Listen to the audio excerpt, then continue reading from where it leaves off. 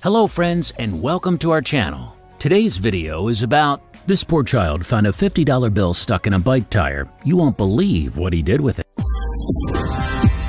Mystery of stuff. Empathy is trying to understand what another person is feeling. It is seeing the world through another's eyes. It helps people get along and to feel better. Only a few people can harbor such kind feelings. The hero of today's story is one of them. A 10-year-old orphan named Abdul Rahman. Despite his young age and the hard times he's going through, he still has an incredible heart. One day, Abdul Rahman was playing with a bike tire he found in the garage. After a while, he sat down and started thinking about his miserable life. He has no family, no clothes, no money, not even enough food for the day. He looked at the tire he was playing with a moment ago and by chance saw a $50 bill stuck in it.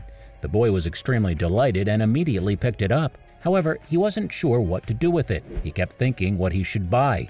What he needed most food, ice cream, toys, clothes. The poor boy felt so happy and decided to go shopping.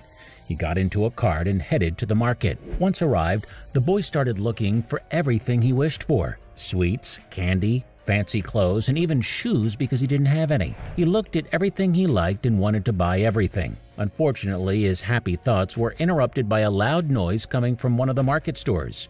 It turned out that something was broken there. Abdul Rahman looked up to see what was going on, only to find